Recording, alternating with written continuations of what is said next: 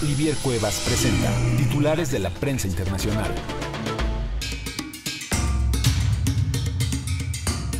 Miércoles 18 de octubre 2017. En portadas, los medios internacionales destacan. En Estados Unidos, The New York Times. Un acuerdo por parte de los senadores busca restablecer los subsidios a la salud. Trump apoya el plan. The Washington Post. El zar antidroga se retira en medio de críticas a la ley. Marino guió un proyecto que debilitó a la DEA.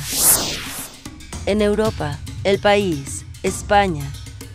Lo que a todos afecta solo puede ser decidido por todos.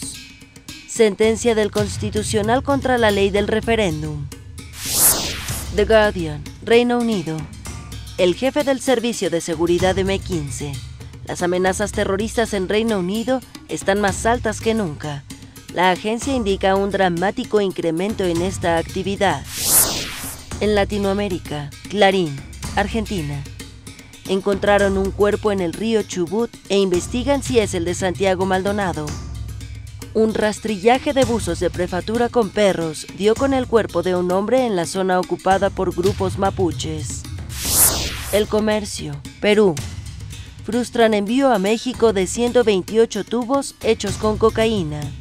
La policía detuvo a 17 presuntos miembros de agrupación de narcos vinculados al cártel de Sinaloa. El Nacional, Venezuela. Virtuoso.